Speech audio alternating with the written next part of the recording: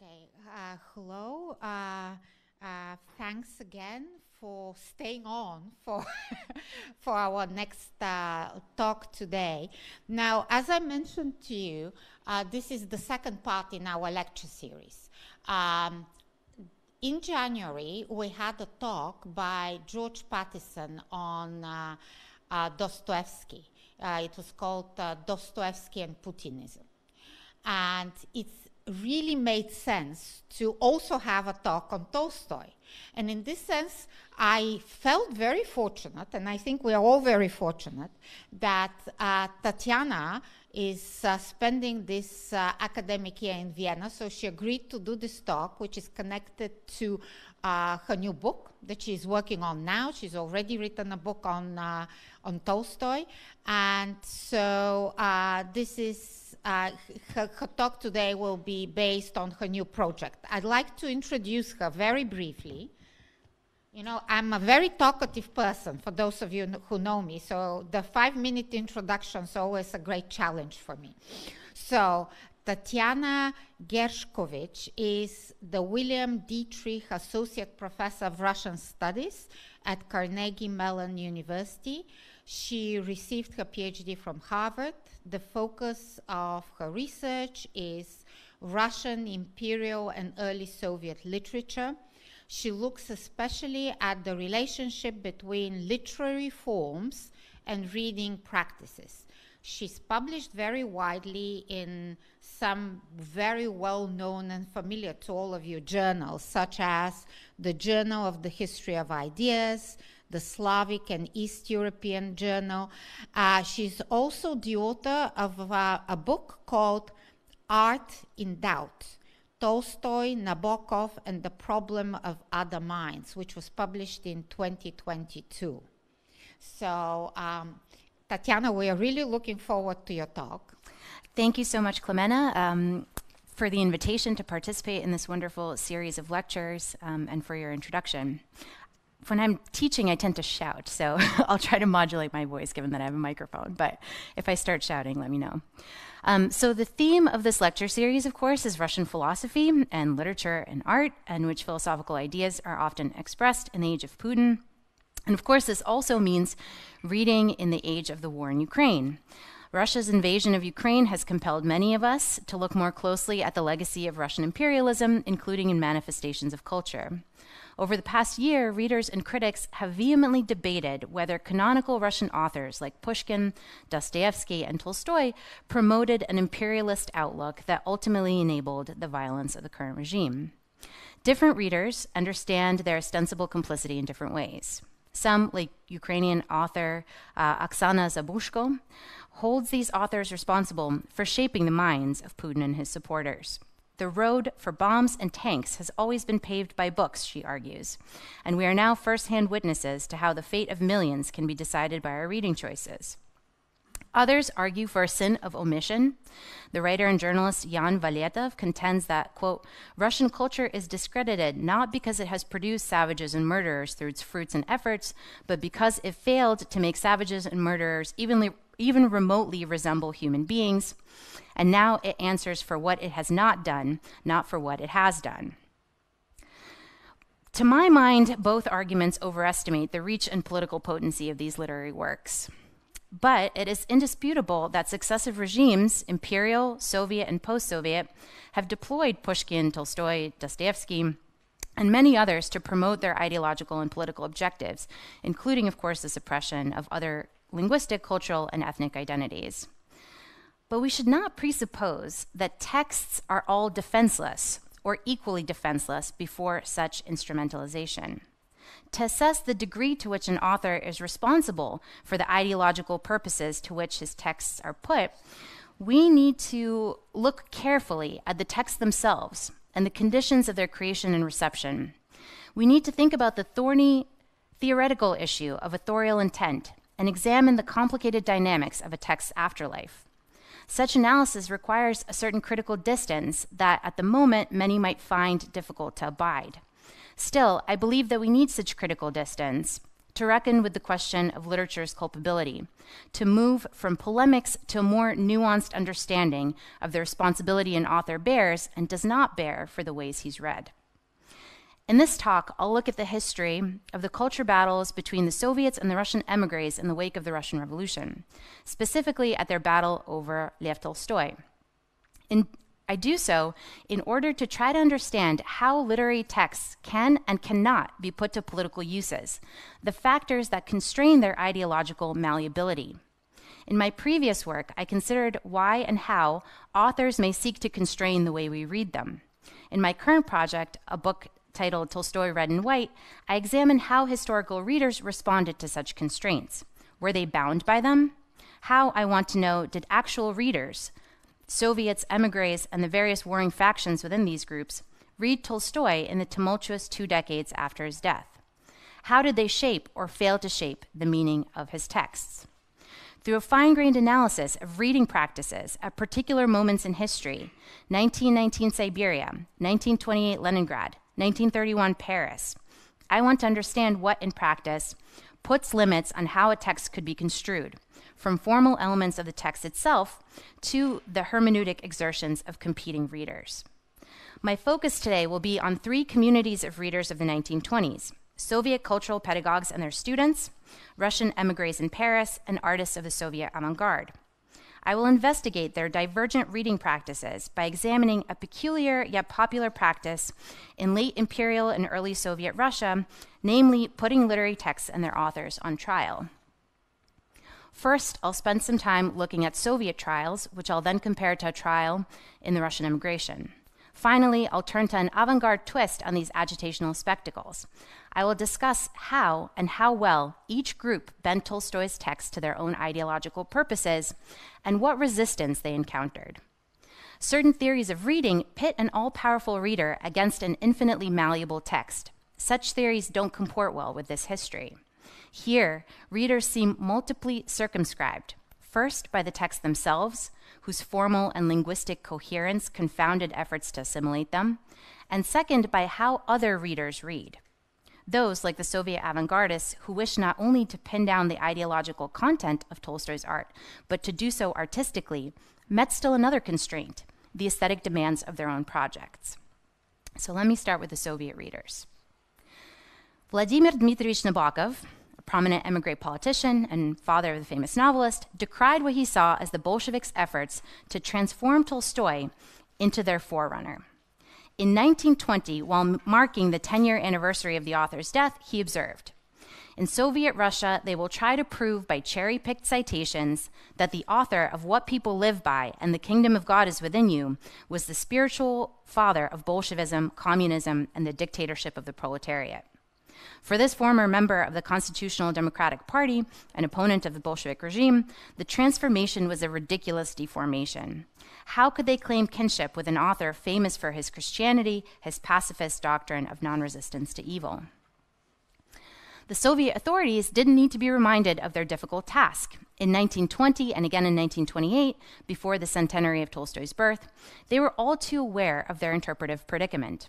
Lunacharsky, the Commissar for Enlightenment, offered perhaps the most straightforward acknowledgement of their challenge in an article entitled We, Tolstoy, and Europe. Lunacharsky ventriloquized the European perspective on the Soviets' claim to Tolstoy. How can the USSR, marching under the banner of communism, in any way honor Tolstoy and consider him a kindred spirit? If you want to make this old preacher your ally, you will distort him, and probably many people, not only outside your country but within it, will sharply condemn this. A Tolstoy crudely trimmed to Bolshevik specifications might raise an outcry. Lunacharsky was keenly aware of this, and the anniversary events would therefore have to be carefully curated. The Commissariat for Enlightenment produced booklets, essay collections, and bibliographies for culture workers in libraries, schools, workers' clubs, and so called reading huts in Soviet villages. Readers were to be guided carefully through Tolstoy's oeuvre, and Vladimir Lenin's essay Lev Tolstoy as the Mirror of the Russian Revolution offered a template for doing so. Lenin had famously argued that Tolstoy's artistic gaze allowed him to diagnose the disease of the imperial order, but his socio historical position prevented him from recognizing the need for a revolutionary cure. Lenin's directive to laud Tolstoy's art and disparage his philosophy was parroted in the commissariat materials and essays with titles like On the Celebration of Tolstoy Days in Schools of Socialist Education and Discussion of Tolstoy in Reading Huts. These celebration materials were meant, first of all, to promote literacy and educate the public about Tolstoy, but they were also meant to neutralize the quote unquote harmful aspects of his art and thought without distorting him too much. To make the celebrations lively and not simply a series of ideological lectures, the manuals recommend involving participants in dramatizations of Tolstoy's work. They suggest, in particular, the short story Polikushka or the drama The Power of Darkness, both of which represent the village under the heel of capitalism, as they put it. The commissariat deems other works not suitable for the village, and even The Power of Darkness struck education authorities as potentially problematic. The drama, for those who don't know, tells the story of Nikita, a weak willed peasant corrupted by the desire for wealth and sex. He commits crimes that culminate in the murder of a child he conceived with his stepdaughter Akulina, uh, whom he had taken as his mistress. His wife Anisia and mother Matriona encourage him in the murder. His father Akim, a simple, virtuous peasant, tries to bring Nikita back to God and honest labor but fails. Tolstoy's drama certainly evinces the poverty, ignorance, and violence of peasant life in Imperial Russia a social critique the Soviets were eager to underscore. But it also stresses the moral corruption of the individual soul. Nikita, Anisia, and Matriona are all guilty because they place their own welfare above the imperative to serve God and love one's neighbor. This is the lesson that Nikita's father fails to teach him. Staging the power of darkness, one manual warns, will require considerable reworking, especially in the role of Akim. But peasant hut workers were not left to their own devices. The celebration manual gave detailed instructions on how to amend the play. You need to throw out all the discussion about, oh, we've forgotten God, all the discussion about sins, repentance. In addition to deleting Akim's religious exclamations, the manual advises cutting the last act in which Nikita repents before God. Instead, Nikita simply confesses his crime, and the constable declares we must draw up a report. Of course, it would be naive to think that one can excise Tolstoy's religious philosophical ideas about the roots of violence simply by cutting all mentions of God and replacing them, replacing Nikita's religious repentance with his arrest. As we know, and as the Enlightenment workers knew too, the ideational content of Tolstoy's story does not reside in any single character or set of phrases. It permeates the text, its imagery, linguistic texture, and narrative structure. Tolstoy's story takes as its model the biblical parable of the prodigal son. Nikita's selfish desires drive him deeper and deeper into spiritual degradation that ends with moral collapse and the crime of infanticide. The text, by way of Nikita's speech, describes his crime in vivid, even gruesome detail. After the murder, Nikita hears his child's wails and the crunching of bones. It's hard to imagine the play's spectators, particularly those attuned to the biblical intertext, would be satisfied by a legalistic conclusion to Nikita's story. Anything less than the cosmic pathos and moral reckoning of Tolstoy's original simply won't do. The patterning of the play, its form, diction, and imagery sharply constrain what can plausibly be done to its ending. It was not so easy to answer Lenin's call to honor the great artist while rejecting the landlord obsessed with Christ.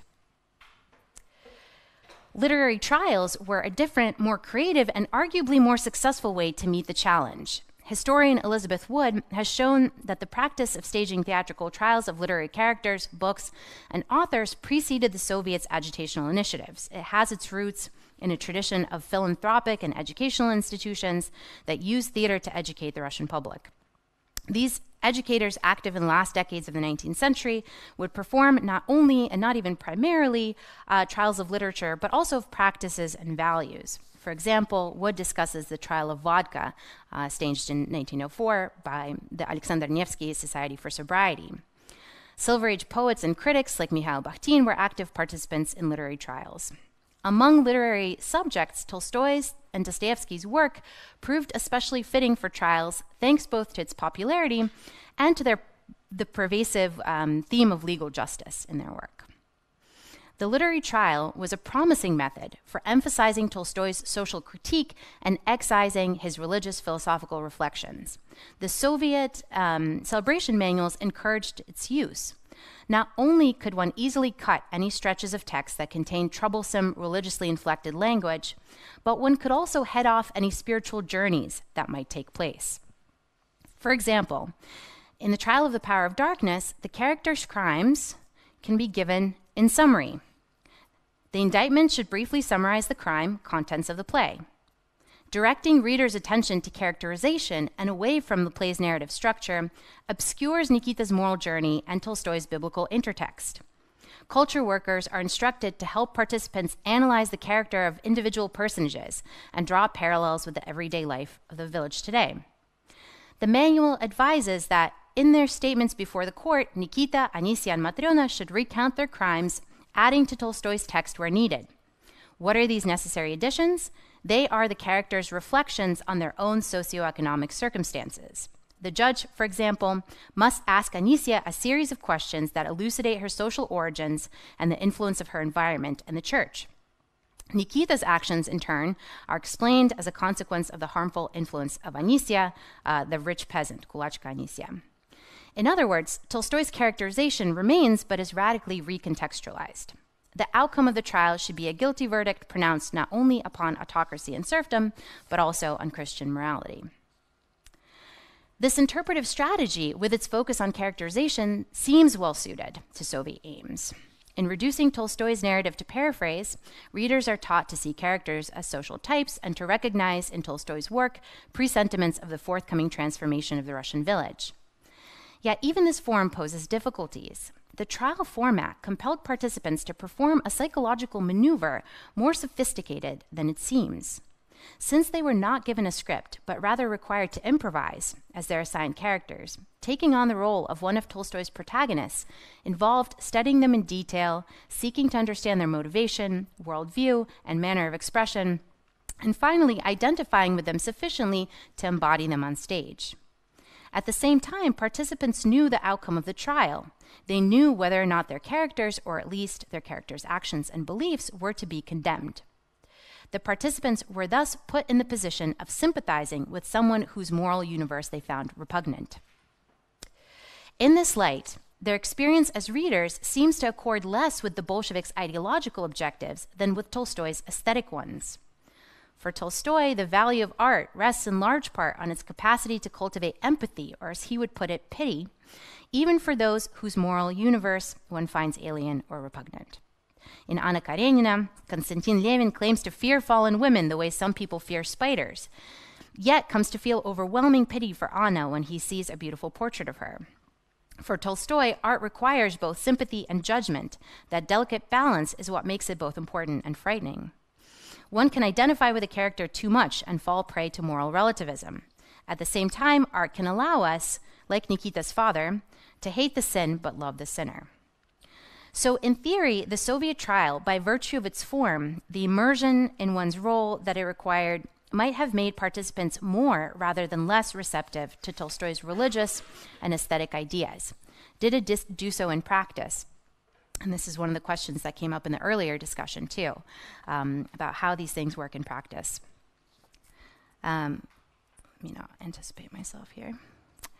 So, because these literary trials were encouraged primarily among provincial readers and in the Soviet context did not often involve the literary elite, it's not easy to find accounts of these performances. But as it happens, um, scholar Erica Stone Drennan has conducted an excellent comprehensive study of Soviet and emigre literary trials and discovered and generously shared with me a record of one such trial, which took place in a women's high school in the Siberian city of Novosibirsk. Notes on the trial were taken by Grigory Zhirnovkov, a Novosibirsk lawyer, Soviet politician, and literary activist the students staged a trial of Count Dmitry Nekhludov, the protagonist of Tolstoy's 1899 novel Resurrection. Along with The Power of Darkness, Resurrection was the work the Commissary of Enlightenment deemed most fitting for literary trials, in part because it thematizes legal justice. The story begins when Nekhludov finds himself a jury member in a trial of Katyusha Maslova. Katyusha is a prostitute falsely accused of poisoning a client. When Nekhludov sees the defendant, he realizes he had seduced and impregnated her in his youth. Disgraced, she was forced to give up the child and wound up in a brothel. Katyusha is unjustly convicted and sent to a penal colony in Siberia. As in The Power of Darkness, the original sin here is egoism, evident most of all in Nekhludov's sexual desire. The bulk of the novel's action is devoted to Nekhludov's spiritual journey to acknowledge and atone for the egoism that destroyed Katyusha's life. He grows aware of the injustice and violence of Russian society, gives his estate over to his peasants, and follows Katyusha to Siberia to pay for his sins. The celebration manual suggests the trial might begin as the novel does, with Katyusha Maslova on the defendant's bench. But midway through the proceedings, the court ought to take Count Nekhludov into custody. In essence, one manual explains, the trial is not of Maslova, but of Nekhludov, of his actions and morals. The trial in Novosibirsk was staged in 1919, uh, so years before these commissariat materials were published. Still, Zhirnovkov's participation suggests an official sanction of this performance by the local authorities. Further, the trial does proceed broadly along the lines recommended by the commissariat. Zhirnovkov's notes, seemingly written from the perspective of a judge, dispense with Maslova and declare the session of the literary court of Count Nekhludov is now open. The defendant is asked to give his name, occupation, and social position, suggesting again the emphasis on characterization in this type of exercise. After presumably giving Nekhludov a chance to describe himself, the court pronounces the charges against him and asks. So I'll show you the text as it appears in the manuscript. This is from the archive, and then my transcription of it. So these are the charges. is Nekhludov guilty of committing the act with Maslova? And insofar as he did so, trying to make amends for his act with his 100 ruble handout and later accompanying Katyusha Maslova to the penal colony and offering to marry her. Is Nekhludov guilty of subscribing to Henry George's theory of the unacceptability of land ownership while construing, uh, excuse me, while continuing to own land and enjoy all the benefits of the landowner's position? The trial participants, just as the commissariat manuals would later recommend, plan to judge Nekhludov's conduct and hypocrisy. At the trial, one manual argues, it's necessary with all decisiveness to fall upon the aristocratic egoism of Nekhludov, his desire to quote unquote save himself at the expense of others. The Siberian students do indeed try Nekhludov's aristocratic egoism, though as the evening proceeds, there's a subtle shift in focus from the first word to the second, from aristocratic to egoism, from exploitation of class position to sins of the soul. So literary trial begins at 8:30 p.m. and you can see his blurry it's blurry here, but you can see a timetable that he's written in the margin. Uh, it begins at 8:30 p.m. on December 1919 and lasts well into the night. The speech from the defense alone takes a full hour from 9 to 10 p.m. Other speeches follow. Then everyone present is invited to deliberate and deliver a verdict. They're reminded to reflect both on Nekhludov's private and public conduct. But now, after hours spent with Tolstoy's text and characters, the court veers away from Soviet sanctioned socio-political questions and toward Tolstoyan moral queries. The very language of the document changes from bureaucratic to literary philosophical. And here's sort of where it is in the text, and I'll show you my transcription. The general question about the governing moral principle, living in concert with it, makes life free, and in violation means the death of the individual. Is Count Nekhludov guilty before the highest moral principle? The social causes of Nekhludov's crimes recede into the background as the violation of moral law comes to the fore. The second and last page of the trial script is inscribed at the top with the words, The voice of the moral law hums unceasingly. The court gives the final word to Nekhludov before offering what appears to be a summation of the trial's outcome. So here is the summation, my transcription. On the defendant's bench, we seated our conscience. Nekhludov, having accused himself, pronounced judgment upon himself. It is not people who are judges, but the inner moral law. On the defendant's bench is our very life before the moral principle. To rise to the heights of the moral principle and the call of fate, Nekhludov, he rose. He grew to reach this height and condemned himself. We must grow to Nekhludov's height and answer the call of fate as he did. The student trial begins just where the commissariat recommends. It ends somewhere strikingly different. Participants were supposed to acquit Maslova but convict Nekhludov to rebuke his effort to save himself. Christian morality was to be debunked as a mechanism for enslaving the working people in order to fortify the power of the gentry and the bourgeoisie. It was to be displaced by the justice meted out by a new post revolutionary community. Yet here, the highest judge isn't other people, but an inner moral law. Nekhludov is not only acquitted, but extolled for hearing within himself the call of fate. In the end, it's neither Maslova nor Nekhludov, but the conscience of the audience that winds up on trial. And I imagine that the outcome of the trial at the Siberian Girls' High School would have pleased Tolstoy, who believed that social reforms could only follow from individual moral transformation. So, from Georgist economics to the unceasing hum of the moral law. How did the trial go this way? Why did it not yield the outcome anticipated by the Soviet authorities? For one thing, the trial was staged soon after the revolution. Perhaps the eight years that had elapsed between this trial and those described in the celebration manuals altered the nature of the performances or the nature of the performers. The location of the performance may have also played a role. These Siberian school workers and their students were far from the organs of power, which may have left room for ideological deviation. But what seems clear from the trial notes is that the performer's aim at the outset really was to litigate social hypocrisy and economic crimes. Something about the staging of the trial, the embodiment of the novel's characters, the long immersion in its language, themes, altered the aims of the trial and its outcome. The text seems to have transformed its readers no less than the readers transformed the text. So far, we've seen how Tolstoy's texts resisted their easy assimilation by the Soviets. Their structure, diction, skill at inspiring sympathy with their characters, all this constrained how they could be read. In turning to the emigres, we turn to a different kind of constraint, one imposed by competing communities of readers. Throughout the 1920s, the emigres watched closely as the Soviets commemorated Tolstoy. They ridiculed the interpretive gymnastics and cynical tributes of the Soviet authorities, contrasting them with their own supposedly sincere hymns to Tolstoy. In truth, of course, the emigre celebrations had their own objectives. For them, Tolstoy was a means not only of bringing cohesion to their community in exile, but of creating ties to their European neighbors. To this end, many emigres tended to diminish the national and socially critical aspects of Tolstoy's work and to stress his universal themes, his status as a global figure.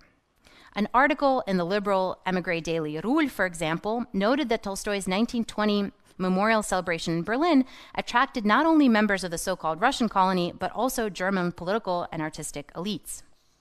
During the 100 year celebration of Tolstoy's birth, eight years later, Rul similarly trumpeted events taking place in European cities Hamburg, Ljubljana, Helsinki, Prague, and stressed the enthusiasm of the locals.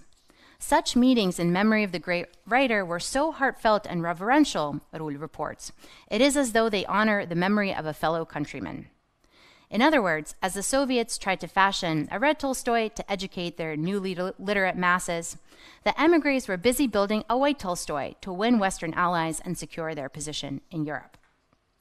But Tolstoy was an easy ally for neither group in this cultural political skirmish. He had declared all members of the intelligentsia, from the most peace loving constitutionalists to the most militant revolutionaries, to be parasites on the Russian peasants. He had denounced not only the Tsar's government, but also liberalizing institutions like the courts, which many emigre leaders valued and considered vital to Russia's gradual evolution into a quote unquote proper Western society. The liberal emigre politician and jurist Joseph Gessen, who met Tolstoy, recalled the contrast between the author's cheerful indifference on artistic matters and his fury when the conversation turned to Russian courts, which Tolstoy had been researching for his novel Resurrection at the time of their conversation. As E.P. Ponomarev observes, many figures of the emigration spoke of the need to fight against Tolstoy's ideas, which, in their opinion, were not the least contributing factor to Russia's destruction. So they revered the artist who inspired nostalgia for a lost Russia, but feared the thinker who had hastened its demise. Not unlike the Soviets, then, the emigres wished to decouple the genius artist from the misguided philosopher. And not unlike the Soviets, this decoupling proved difficult. In 1931, the Association of Russian Lawyers in France decided to replace their annual fundraising ball with a literary trial of Katyusha Maslova, Tolstoy's heroine in Resurrection. Tolstoy was chosen undoubtedly thanks to his popularity with readers, and Resurrection seemed fitting since, as I mentioned earlier, the pre revolutionary Russian court plays a central role in the novel. The organizers intended to relitigate the case at the heart of Tolstoy's novel, and in doing so, to draw audiences, raise funds, and underscore the merit of the Russian court. This event, as they describe it to other association members, must have not only material significance, it must also be worthy of our social and professional importance and position. The trial of Katyusha Maslova was advertised for weeks in advance with an emphasis on the involvement of well respected legal professionals, in addition to prominent writers and journalists. The organizers counted on Tolstoy's resurrection to inspire nostalgia for the unrealized potential of the pre revolutionary Russian courts but the interpretive polemic that erupted so- as soon as they announced their intentions demonstrated the difficulty of putting Tolstoy's novel to such use. The daily Возрождение published an angry letter to the editor from Alexander Krupensky, writing on behalf of the Russian monarchists of France.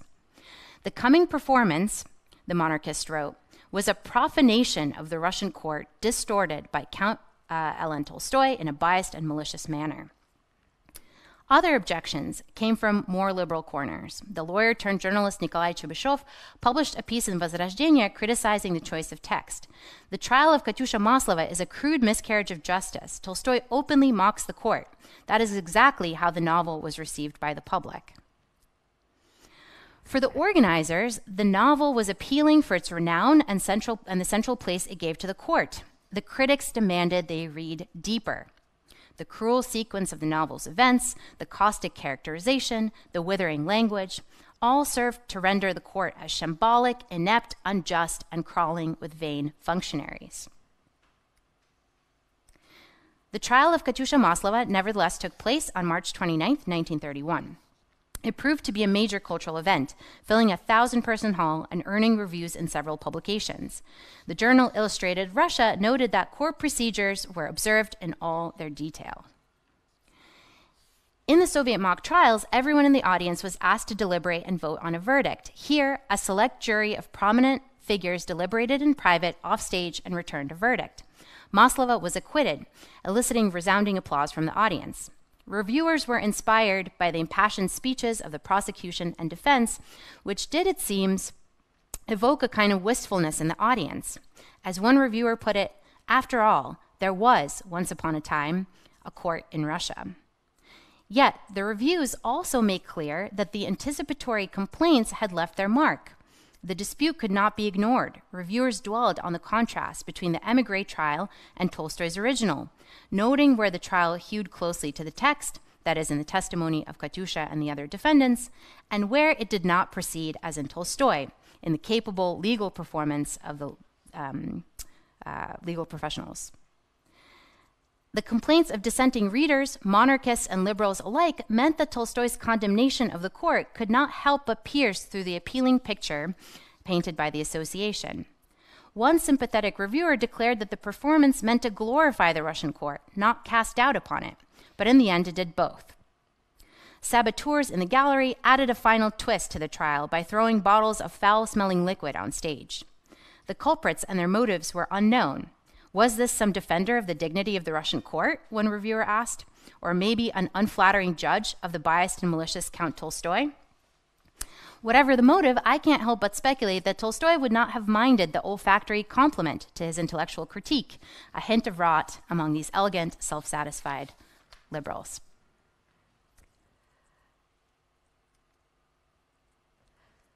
While the Soviets and the emigres fought over Tolstoy's legacy, many in the avant garde wanted to renounce it altogether.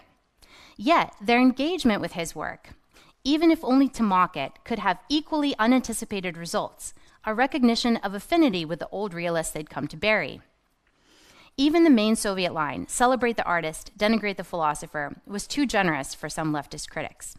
Tolstoy, cynical, reactionary, and pernicious, should be rejected through and through. They disparaged the publishing house Gosizdat that was bringing out Tolstoy's collected works with accompanying essays by Lenin and others. Gosizdat was accused of advertising these publications in a shameless American way. Tolstoy's face was too big, Lenin's name was too small.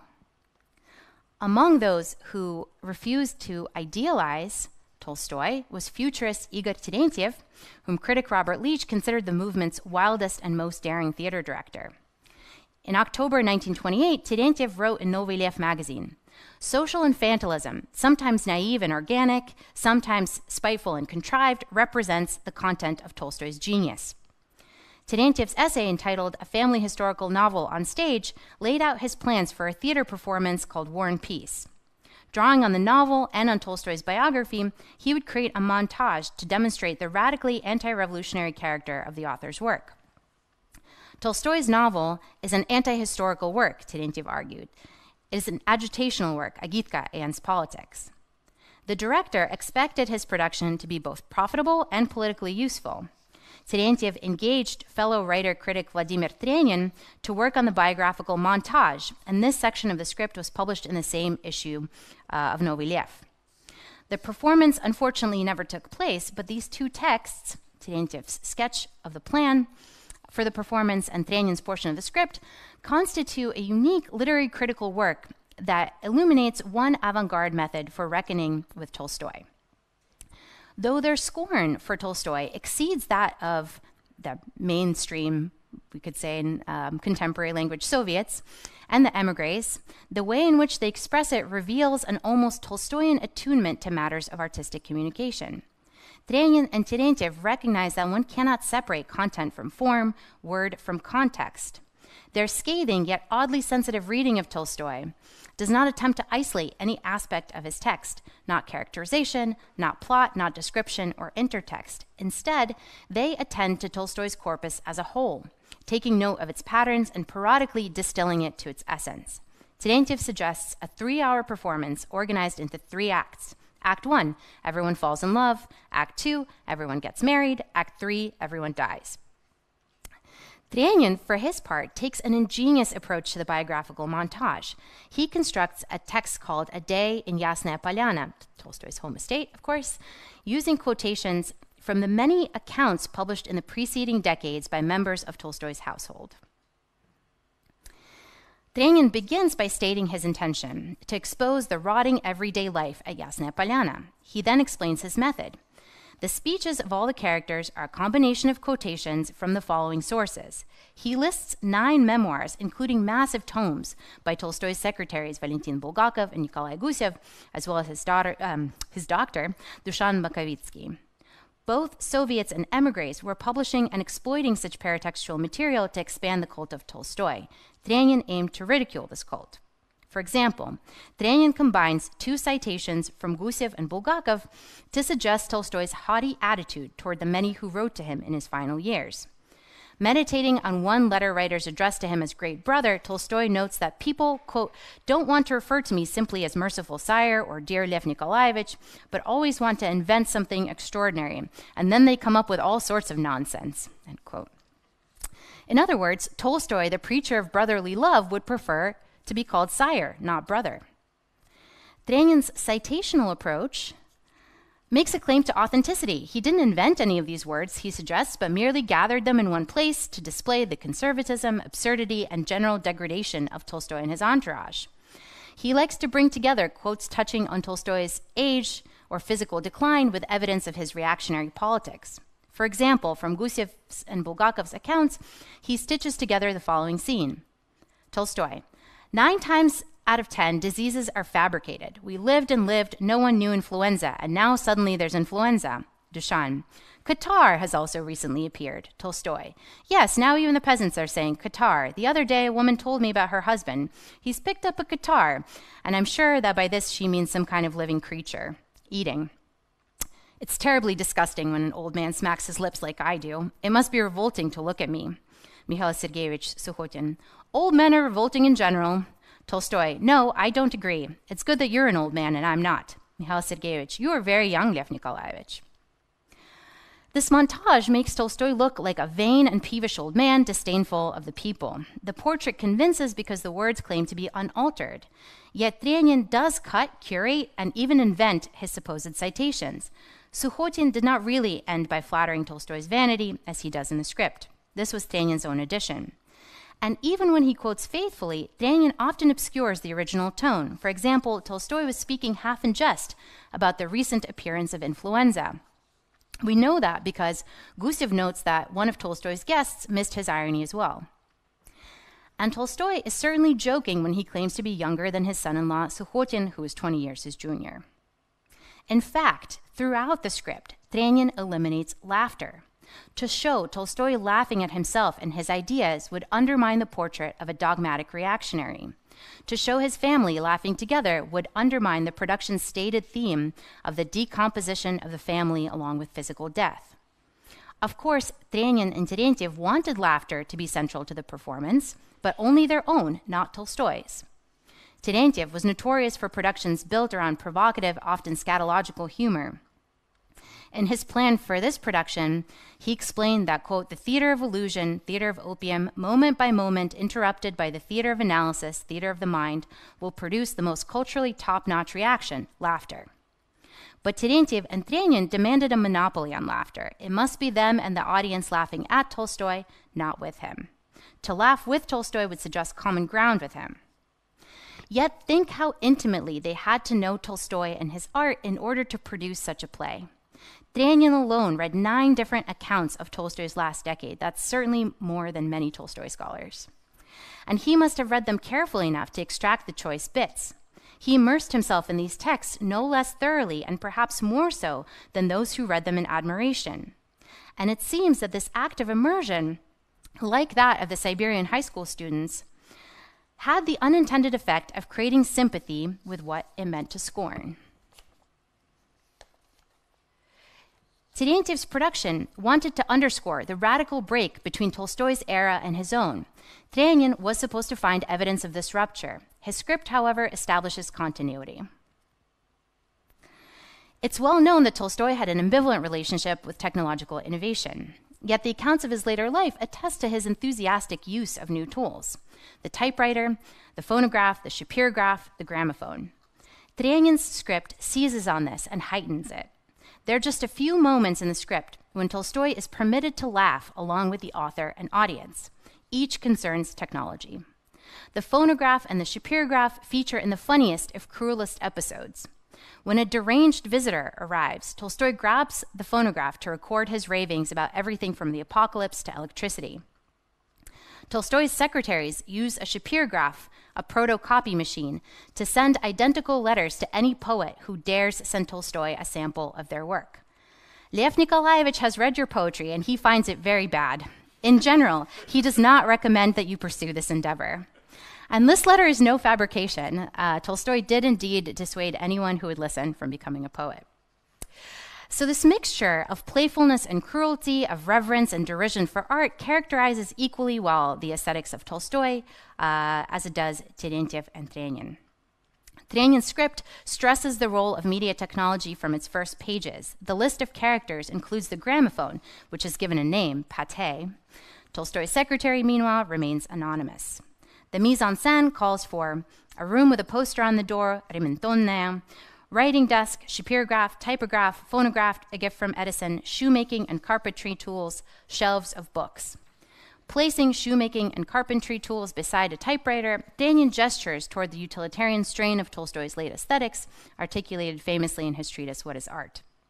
Tolstoy had insisted that art, like all forms of human activity, ought to be useful to others. He rejected what he saw as an arbitrary separation between high art and craft.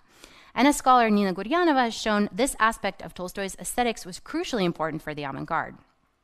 Even amid his critique, Trenin's text nods to this contribution. He has Tolstoy's study resemble a futurist studio. Terentiev and Trenin claimed their intention was to debunk Tolstoy, to throw him overboard, so to speak, the ship of modernity. Yet in the end, these avant garde artists can't help but acknowledge that Tolstoy helped build that ship. So, to sum up, we might say that in all three cases, the Soviet, emigre, and avant garde, the ideological exploitation of an artistic text is complicated by the artistic nature of the text. The Soviet uses of the power of darkness stumbled on the play's coherent structure, imagery, and diction, which made implausible the attempt to tell the same story while modulating it to a secular key. In the emigre trial of Katyusha Maslova, it was other readers complaining about the liberties taken who served to express the resistance of the source text. For the Soviet avant gardists, intent on making compelling art of their own, their ideological agenda was transformed by their aesthetic commitments. What was intended to be a scathing indictment of Tolstoy turns into something funnier, stranger, and even grudgingly sympathetic.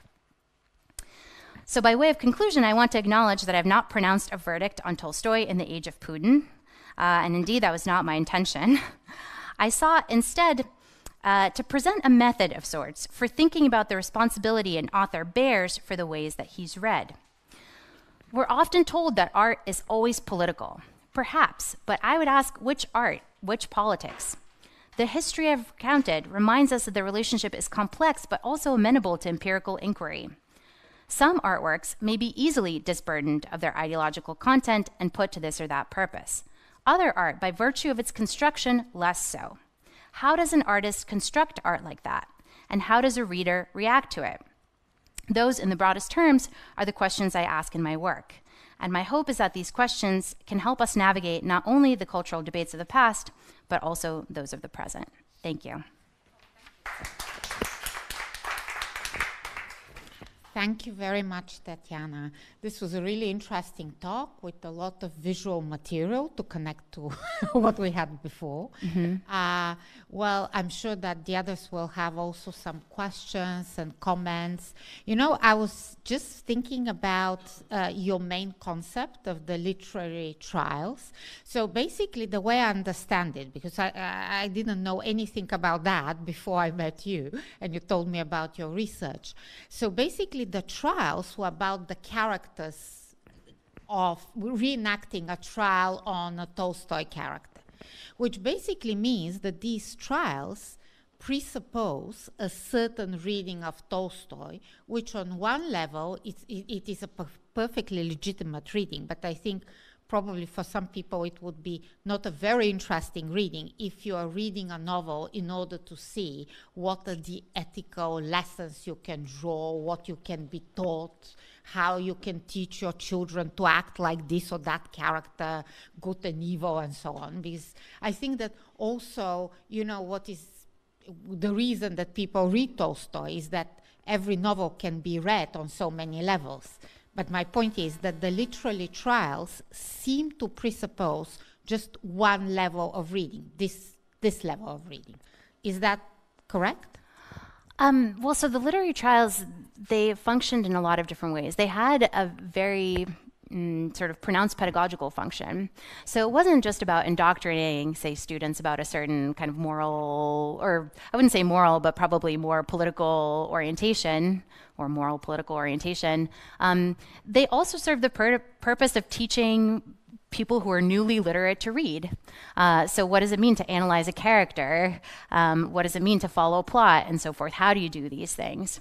So, that was part of what they were doing. And I think that is part of the reason that they didn't always function for that ideological purpose in the way that perhaps the people who had initiated these projects in- intended them to function. Yeah, yeah, thanks. Yeah. Any, uh, yes, please, Ivan. Thank you so much. It was to me fascinating under many aspects. I'm obviously not a specialist in, in the field. Uh, I have just one maybe question slash comment, um, which is going direction really of the constant reuse, right, mm-hmm. of anything which has been produced, and uh, in a way, I would say completely detachless from the person who produced it, being it a written or a visual data. Once you are doing it, this is not you anymore, but uh, is the reader who activates it through his kind of meeting with the, with, with the text, right? Mm-hmm. So, um, what is for me interesting in a way is to which extent your reading um, makes it more complex. Because I would say simply, we have a text which has been transformed by the history of Soviet propaganda, by the research of self of the Russian emigration, and by the, the, the play, the critical play of avant garde. Mm-hmm. And you are actually in, indeed presupposing, if I get it well, uh, still an action of the already deceased Tolstoy on these three ways of being interpreted. Is this correct?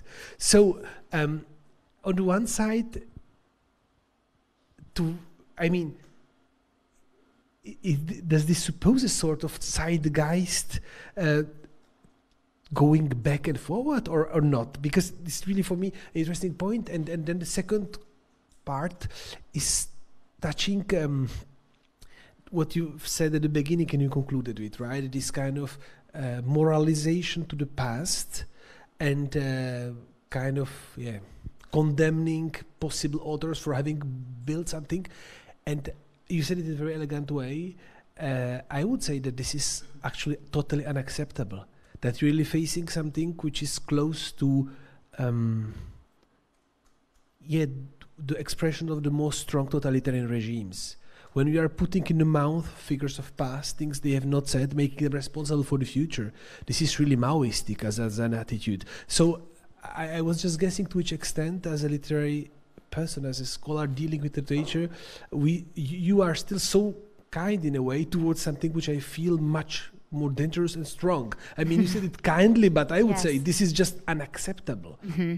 So thank you so much. Yeah, thank you. Um, so what I find so fascinating about reading Tolstoy in the Age of Putin is the way that our conversations about authorial intention, theoretical conversations about authorial intention, which have been complicated, nuanced for half a century, have been flattened, right? So, uh, you know, in in some ways, uh, some readers are holding authors directly responsible for for certain words on page that are open to interpretation, right? Um, and uh, from the other side, there's the sense of you can do anything to a text, right? You can mobilize it for any particular purpose. Um, and in fact, you know, people who study narrative, who study sort of literary theory, know that there's this vast middle ground um, that we've explored theoretically, but less so historically. So, what I'd like to do in this project is think about well, what are these dynamics exactly, right? Can we under can we think about authorial intent in connection with reception, right? In connection um, with sort of the the ideological intentions of particular readers, and where and what factors can obstruct those intentions. Um, some of them I do think have to do with features of the text. So I would argue with, you know, strong Barthesian interpreters or something along those lines, right? And that was my first example of the power of darkness. You can't take this biblical story and completely retell it in a secular way, or you can, but to a very unsatisfying sort of. Uh, can create a very unsatisfying experience and a not very convincing experience, I would say, for the audience. And some of them have to do with um, reading community. So you're articulating your own stance as a reader in a way, right? That you find this kind of use unacceptable. Uh, and these readers and um, in the uh, Paris trial, for example, uh, intervened, right? They found this use of the text unacceptable. So they wrote letters to the editor and so forth and, and said, you have to read deeper. You can't just use this text in this way. So I'm interested in teasing out kind of historically uh, what are these factors that constrain interpretation how does a text resist being instrumentalized, whether by way of its own features or by way of the life that it leads after its creation, right? So both in a sense. Yeah. Thank you. Uh, Sergey first, Misha second. Yeah. Thank you very much. I knew very little about that, so it's very, very illuminating. Um, but um, reacting to this and to your just last comment, um, um, you can you, you, you make me think, and sort of I'm wondering about the nature of the project as a whole. We cannot pretend that post-structuralism just went away right now, right? So in other words, like we know that you know, anytime you cite a text, it's decontextualized and it's a different text. So I wonder why we, why you think you need to fight this battle that Derrida and company kind of won actually right so well i would disagree about their victory i guess really? i mean that's part of the impetus of the project yes so um, who would be the audience that thinks that he lost well, I think that the field of narratology, for example, has been exploring, you know, this middle ground between a kind of post-structuralist uh, mm. view and, you know, people the, the authorial intent to, to to a strong sense of authorial intent. Exactly. Yeah, I don't think that a text is infinitely malleable, that it's decontextualized, and I hope that the historical examples bring that out right? Um, you can't just do, in practice, in theory perhaps, in practice, you can't just do what you want with a text. I don't think I'm convinced, but that's sort of a different story. Um, um, so, but um, I thought like I mean, it's fair. right, yeah. Um, but um, when I uh, again, like when I was listening to you, I thought like, well, it's interesting. So, what happens if you flip the lens, right? So instead of sort of foregrounding Tolstoy, which seems to be kind of your main figure, and like you want to keep him present throughout, right? What if you approach Tolstoy as a vehicle for something else? Namely, sort of your two first examples are sort of perfect, right? So what we have is the emergence of a particular form of entertainment. Immersive is basically sort of a prequel to DAU. A prequel to what? DAU. Do you know the Mhm. DAU Yeah, project? yeah, Right. So you have to embody it, like sort of like you have. It's a completely different aesthetics, right? Mm-hmm. So nothing distant. You have to be there. You have to be imagine. You have to be imagining yourself as this or that kind of character. But then there is this very sharp, very abrupt sort of moment of defamiliarization, sort of Mm-hmm. Right? And that's what you show. It's really interesting because nobody writes about that. Like Mm-hmm. we all think that sort of you know this immersive theater emerged in the last what like 20 years, right? Not true Right. Right? Yeah. Mysterious, whatnot, like sort of like, but what you add to this is this kind of moment of familiarization, which is crucial kind of to, Yeah. to destroy the illusion. That would be immensely interesting, really, Mm-hmm. if you show that. But for that, like sort of, like, you need to push Tolstoy. Push Tolstoy to the back. and then with the last one, sort of, I thought like, well, Mm-hmm. it sort of it didn't quite gel to me, like sort of it's somewhat separate. But there is a different parallel. I don't know if you watched a film by um, Ugarov, um, um, Bratice exactly the same method, right? Except that sort of like he claims that he is doing documentальная проза, docu, docu, docudrama rather, right, where he uh, m- kind of enmeshed um, diaries of Chekhov, letters of Chekhov with his kind of fiction, and then produced this film where sort of it's all about brothers, right? So like how sort of they're kind of like a story in the, in the estate, um, and how they sort of live and quarrel and whatnot, right? Claiming, so I went, he was he died recently, but sorry, I went when he presented it, and he was claiming this is a document. There is nothing uh, invented in the film. Sure, but like sort of like there are genre differences and so on and so forth. And you show a similar kind of thing, right? So, Right. but again, it has a highly sort of contemporary component, right? So like Yes. but that's what I'm saying. But for that kind of, if you if you focus on genres Mm-hmm. And models of appropriating the text, then the intent and sort of the limits of the te- text would become much less relevant, right? Right. Instead, sort of like you would see how you know like new forms that are still relevant, you know. Could, could, could be elucidated and sort of brought out and so I don't know. It- yeah no that's really that's really interesting i mean so um, i'm at the beginning stages of this project so it could take a number of different directions and i'm very interested in genre actually and a number of other things um, so perhaps that came through in kind of my approach um, yeah and to me this, this um, documentary approach it reminded me actually of the sleeve, right? The sort of hacking, uh, you know, claim to authenticity. I'm just giving you these documents, um, so it's, you know, it's old. it's an old method. Yeah, absolutely. Yeah. Thanks. So, so actually, I I like your approach a lot because as someone coming um, from history and sociology rather than uh, literary theory, which I know very little about, um, I'm I'm always um, very frustrated when people start saying that you can do anything with anything, with anything with everything, right? Yes. Um, because when you know, just like you said, when you study actual empirical cases, usually that's not the case.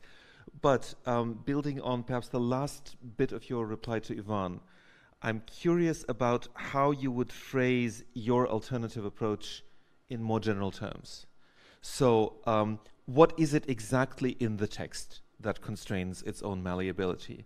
Is it, for example, literary quality? Right? So, would the same principle apply to text by less talented authors, right? So, Yeah. Sergei just said you want to foreground Tolstoy. Could you do the same thing with, I don't know, Vladimir Korolenko, and then you know going down the kind of literary steps of the literary canon? Where where does it end? I mean, is there a, a genre of text? Is there a quality of text that does lend itself to kind of infinite interpretations because maybe it's so dumb, right? You kind of you strike it and it doesn't. There's no echo coming back, so you can do you can do anything with it. Yeah. Um, or, or is it something that's completely different from literary quality? So what is it exactly? Kind of not talking about Tolstoy in particular, but in general, in you called it a narratological approach. So that's the first point. The second, uh, or the first question. the Second question is, I'm really interested in this, these trials as as a practice, um, and of course, it it raises the interesting question of what people use trials for other than narrow legal purposes, right? and of course, and you mentioned this very briefly, there are echoes of the judicial reforms associated with Alexander II, but which continued into the 1905 revolution, etc., um, which must have created the kind of context where people were becoming more familiar with different kinds of trials and different purposes um, to which trials can be put. But also going back into history, you know, we've had trials for all sorts of things, you know, trials of non-human animals, etc. So I'm wondering what the specific, I mean, you just mentioned the didactic purposes and the sort of educational, but where do you see the literary trial in the entire spectrum of kind of trials as uh, a social practice mm-hmm. going beyond the purely, you know, narrow legal purposes, if you see what I mean? Mm-hmm. Yeah. I mean, so to answer the second question first, I think um, I've been focused on the pedagogical. To me, that is sort of the low hanging fruit here. Um, it's very explicit in the Soviet context, especially. In the emigre context, it's a little bit murkier. They actually had a lot of disdain for this type of practice, literary practice. Ivan Bunin, for example, refused to participate in this trial of Katyusha Maslova. Uh, uh, in part because they saw it as a Soviet practice. It had become very popular. Um, it was considered sort of provincial. There was a provincial stink about it, as some some said, but it was also quite popular. So the reason that they did it anyway was because it raised funds for various organizations. Nabokov participated in one such trial, and he wrote to his wife Vera. I find this repugnant, but I'll do it for the money, kind of that sort of sentiment. Um, so it served, you know, this economical purpose. There was this pedagogical purpose.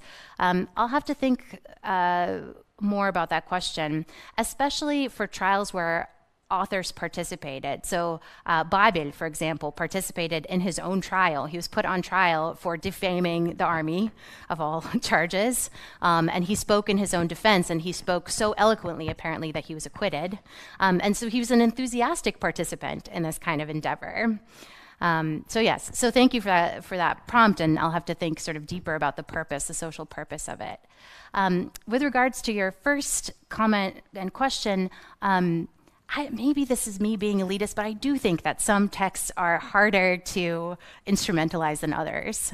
Um, and I think some authors, Tolstoy, to my mind, uh, very consciously pursued the project of um, shaping his works in such a way that they couldn't be misinterpreted. So in my first book, I argue for this being a sort of lifelong quest of Tolstoy's. How do I create such a work that is so transparent, right, that it can't be misinterpreted? Um, I see, see this as sort of part of the reason why he drives toward greater and greater asceticism in his late uh, work. Um, so, so yeah, so that is a kind of working hypothesis of the project that some texts are easier uh, to to use to instrumentalize for ideological purposes than others. Based on, I would I would say um, that is the open question for. In part, I would say structures, literary structures, certain uh, kinds of ways of writing and shaping a text. Um, and then the reception, I don't know. The reception is sort of something that I'll have to to think through. Yeah, can I just say something, uh, Ivan? Just just two sentences because I think it relates to what you're talking about here. Because there seems to be an implication that a text which is somehow of a lower quality is easier to instrumentalize than a text which is somehow of a higher quality. I think it might be exactly the opposite. It that if you have a text that can be read on many, many levels because it's so complex, it's much easier to instrumentalize because you just focus on one of the levels, you ignore the others, and then it's very easy to manipulate and present this text in a different way.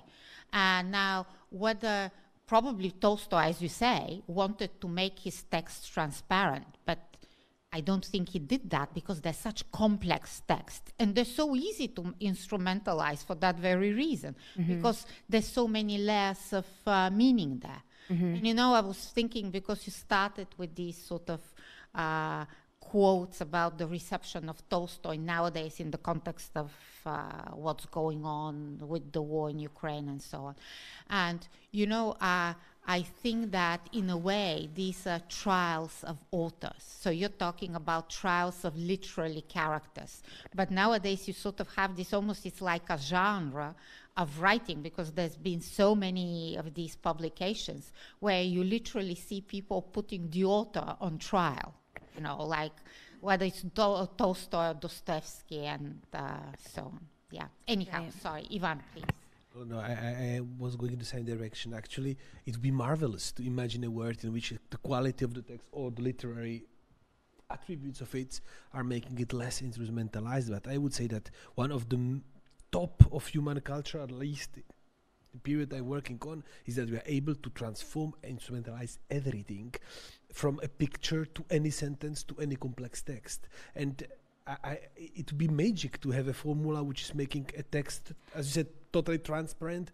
But honestly, I mean, you, you have shown it. I mean, it's enough to cut three words from a sentence, uh, which is a small manipulation of everything. And we, I mean, in visual word, this is just so explicit. You cut one Mhm. part of something, and a master is becoming something completely different than it's ever been.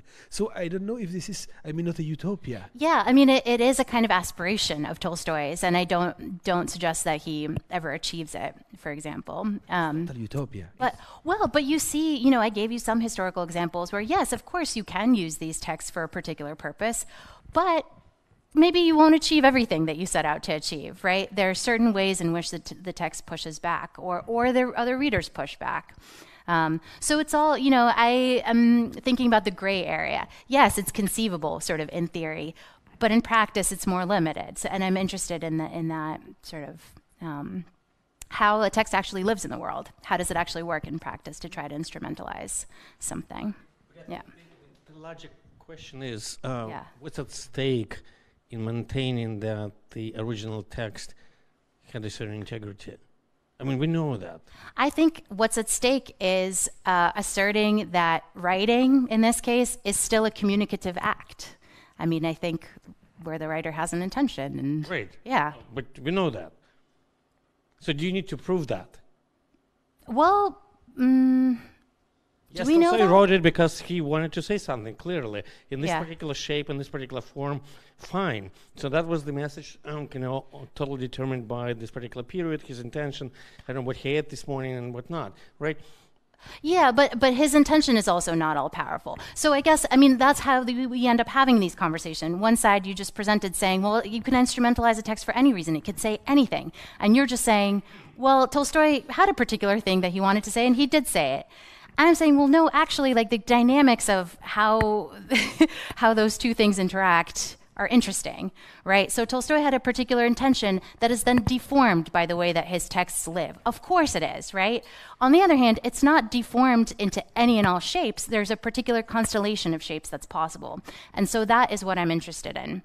And the way that it relates to the contemporary question is now, or you know, there's a debate. Are these authors culpable, right? Can we hold them accountable for this and that? Maybe you can dismiss that debate, but if you are to take it seriously, then I propose then you have to think through that constellation of meanings that's made possible. And so that's what I'm attempting to do. Does that make sense? That's the stakes for me, I guess. Yeah. It does because it sort of then we move into sorry. No, this is wonderful because, you know, now I have so much material to think through as I continue. Because basically, what you you're kind of highlighting is that any rereading of the already kind of created text could have different functions, different purposes, and depending on these functions and purposes, you either you know faithful to the text or like you're completely you know voluntaristic and you do whatever you want to do, right? And so right, but you need to have this kind of body of words with which you could work, right? So Right. that's given. You could decompose them, deconstruct them in each and every way, but sort of like they have to come first, right? So focus on the functioning differentiation then of um, a more precise differentiation of these functions would be helpful like if that's what Right. yes you're saying because Yeah. depending on the intention then of the reader the text highlights or foregrounds or affords sort of different interpretive strategies that i understand but sort of you don't go Right. really in this direction And the functions are not unlimited as part of, yeah, exactly. Yeah. Oh, Go, go ahead. Just a very brief reaction to this discussion from my disciplinary perspective. The, in, in sociology, there's this notion of investment into form, um, where it's. I mean, when someone says you can you can take something and do anything with it, um, the suggestion sometimes appears to be that you can do it immediately. It's like alchemy. Um, my kind of middle ground position as a sociologist, or as you know, when I'm wearing my sociologist hat, would be to say you, maybe you can, but it requires some investment, uh, which which you know you, you mentioned that you study these things historically, which takes time, which takes effort, and which means that you need to, um, in a sense, methodically work against forms that have already been established as conventional. right? So maybe that's a possible way to express the compromise solution. That's very helpful. you're Thank you. about. Yep. hmm That makes good sense. Uh, and, and, and sorry, co- really short comment because you were speaking about this idea. Do we need to prove that a literary act, or I would say an artistic act, however we can call it, is done to communicate, right? You say it in this way, basically, as something proven. And I believe that this was proven, but it's not anymore for many reasons. And one. No, I mean, the pro- problem is that um, I, I can see it from the production of images, which is something pretty interesting because we are all assisting to this production of images, which is now touching a limit of uh, impossibility just to even imagine to see them, right? And in front of this situation, um, now the, one of the most interesting theoretical framework is the one of Beltingian, right? That uh, these images are actually an act of uh, preservation in a way of our lives. So we are producing images to not die. That is becoming kind of really superbly absurd way of doing something in an almost hysteric way without even obviously rationalizing it at all. Now, I I believe that this kind of question are readdressed by the overproduction of everything in which we are right now. Overproduction of images, overproduction of texts, uh, that actually what have been for centuries means of communication are not anymore. And this is pushing us back to the very question: What is the goal? And uh, for, for visual uh, visual data, I'm more and more convinced that we are really going in a part of the brain where communication is not the, the, the main issue anymore, mm. which is funny. That's interesting. I'm finished. I don't want to monopolize. But i- but but what you're saying is basically Baudrillard 101, sort of like simulacrum, sort of like the signif- signifier dev- devoid of any signified. So like again, like it's post-structuralism kind of basics. But um, They going didn't ba- win, right? You're saying that. Yeah. yeah. Okay. Going back to wha- what Misha said, uh, it's interesting. Sort of, um, I, I didn't think about that. I should have. Um, but um, you know, this orientation in the form, like if you read like sort of formalists of uh, from the 20s, so you get the orientation in the form to, towards the form, uh, установка на, на, на форму, right? That comes together with um, установка на uh, прием.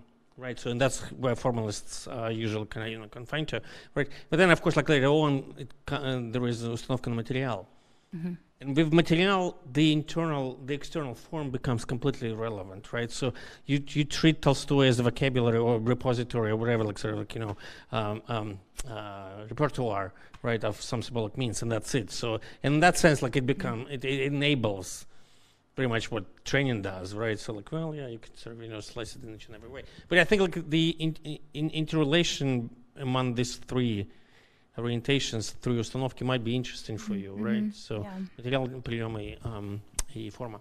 Mm-hmm. Yeah. yeah, thank you. That's uh, helpful. Thank you very much. I think that this was a great discussion, which was uh, uh, a testimony to the fact that it's often so interesting when someone presents uh, a project which is work in progress rather than something you've already done. And whatever people say is a bit meaningless because it's already published and that's it. And I, I, also think that you have an extremely sort of interesting approach. You, you have great material. And thank you very much for participating, Tatyana. This was great. Thanks very much for your contributions throughout the, the lecture series. Thank, Thank you. Thank you. So thank you, everyone. Uh, we have to finish sort of about now, and we're meeting uh, outside uh, at the reception with the speakers. Yeah. Uh, wow.